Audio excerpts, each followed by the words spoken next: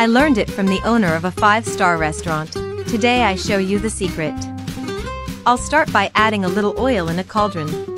When the oil is hot, I will add 2 cups of rice, previously washed and fry the rice for 4 minutes, to seal it well. After the time, I will add 60 milliliters of place sauce. In addition, I will add 150 milliliters of water and mix to incorporate the ingredients into the rice. Once the ingredients are incorporated, we will add 2 tablespoons of barbecue sauce and incorporate it well. Friends, I recommend you try it to verify that it is good salt, since place sauce contains salt, it would not be necessary to add it. I will cover the carder and let it cook over high heat until all the water dries. When I know all the water dried there, I will uncover and form a mountain with the rice, in this way as I do. We will cover again and let cook for 15 minutes over low heat. Meanwhile, in a pan I will add a splash of oil and when the oil is hot, I will add 200 grams of chicken breast cut into cubes.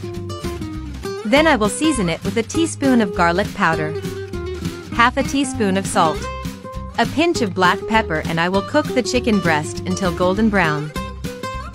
At this point, I will add half a tablespoon of place sauce, a tablespoon of barbecue sauce and mix again to incorporate these ingredients into the chicken breast. And this is how we should stay. After 15 minutes cooking the rice, it would be ready, turn off the heat and remove the carder. In another large skillet, I will add a little oil. Then I will add half a cucumber cut into strips, half a carrot cut into strips, half a yellow pepper cut into thin strips, a quarter of broccoli, 100 grams of mushrooms, sliced. Finally, I will season with a teaspoon of salt and cook these vegetables for 5 minutes. If you've seen this recipe so far, it's a sign that you're enjoying our recipe so right here below, excellent mixed rice, so we can send you a greeting on the next recipe.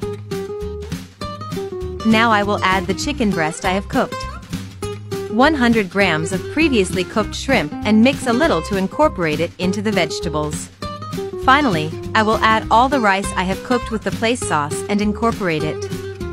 Tell me here below which city or country you are seeing us, to thank you for seeing our recipes, the greeting in today's recipe is for Wade Jones who looks at us from USA Dolores Peterson who looks at us from Texas and Evangeline Apiato who looks at us from Philippines thanks to these followers for always seeing our recipes.